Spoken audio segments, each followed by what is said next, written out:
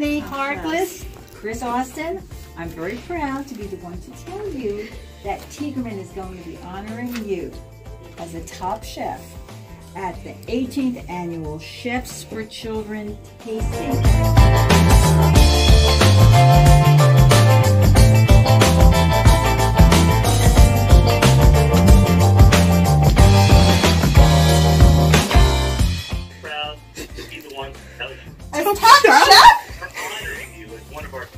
Top chefs for the 18th annual Chef for Children Food and Wine Tasting Event.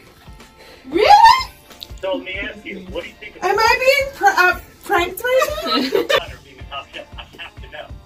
What is your what do you what's your best recipe as a top chef? Um, I go through a drive-through at Taco Bell.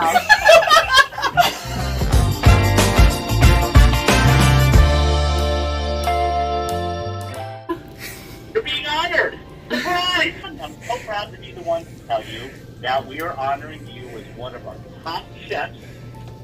What is she cooking? What's your best dish? Uh, I'd have to think about that. I have quite. Mrs.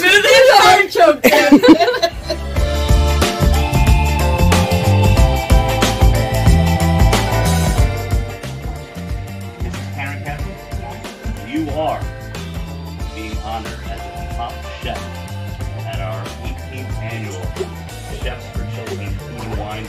Tasting event. It's, of course, very, very much deserved, oh, and we appreciate all that you do. Top Chef, what's your best dish?